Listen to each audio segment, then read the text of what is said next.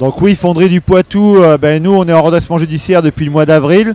On est donc euh, notre donneur d'ordre c'est Renault. Et comme euh, beaucoup de fonderies en France, aujourd'hui Renault décide de, la vie ou de la mort des fonderies.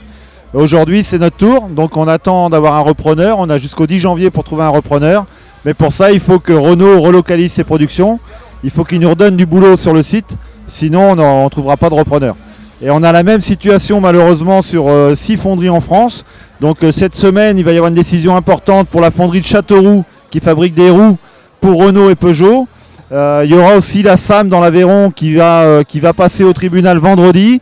Et si d'ici vendredi, il n'y a pas d'activité supplémentaire de la part de Renault sur la SAM, ben, il y aura des liquidations d'entreprises avec des suppressions d'emplois sur tous ces sites. Donc aujourd'hui, la, grosse difficulté, c'est qu'on on risque d'avoir plus de 5000 emplois supprimés dans les fonderies, avec la perte bien sûr des compétences, du savoir-faire. Et dans quelques années, on ne saura plus faire de pièces de fonderie en France, puisqu'il n'y aura plus de fonderie.